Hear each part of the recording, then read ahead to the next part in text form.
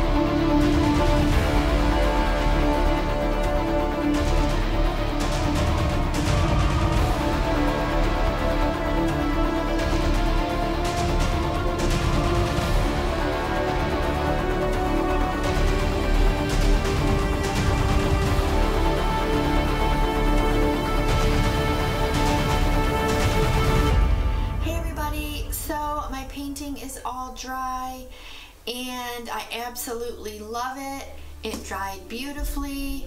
The colors are just so vibrant and I got some nice cloud effect some cool like pebble like cells I got some really nice defined lines and also some awesome lacing kind of up in the top with the orange and white it looks really, really good. So I am super happy about it.